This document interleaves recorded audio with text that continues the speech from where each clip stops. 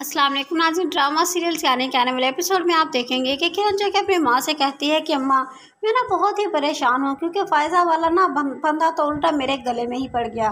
जिस पर उसकी माँ कहती है कि क्यों ऐसा क्या हुआ? किरण कहती है कि आपको पता है कि फ़ायज़ा ने तो कोला लेने का फ़ैसला कर लिया है। ये बात सुनकर नुसरत तारा कहती है तुम क्या कह रही हो? अगर ऐसा हो गया, वो तो सारी उम्र के लिए तुम्हारे सर पर आकर बैठ जाएगी। जिस पर आप देखेंगे कि किरण कहती है कि हाँ और आपको पता है कि दोनों तरफ़ से मेरा ही नुकसान है। अगर वो अपने घर जाती है तो फिर भी जरबाब को ही करोड़ों की जायदाद उसको देनी पड़ती है, और अगर वो यहाँ पर रहती है तो सारी उम्र मेरे सीने पर रहकर मेरा जीना दुशवार कर देगी।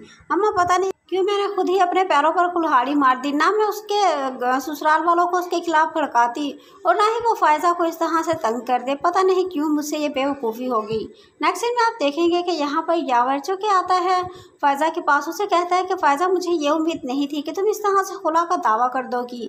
जब फ़ायज़ा कहती है कि उम्मीदों की बातें तुम्हारे मुँह अच्छी नहीं लगती, यावर पता है तुम्हें मुझे भी ऐसे घटिया रवैये कि तुमसे बिल्कुल भी उम्मीद नहीं थी, क्योंकि जहाँ तक मुमकिन हो सका था ना, मैंने तुम्हारा साथ देने की कोशिश की थी, लेकिन बस अब मैं और नहीं दूँगी साथ। क्योंकि जब तुम्हें मेरे माँ बाप की इज़्ज़त की परवाह नहीं है ना तो मैं भी इस तरह से ज़बरदस्ती तुम्हारे साथ दौलत और लालच का रिश्ता नहीं रख सकती जिस पर यावर कहता है कि नहीं फ़ायदा ऐसा कुछ नहीं।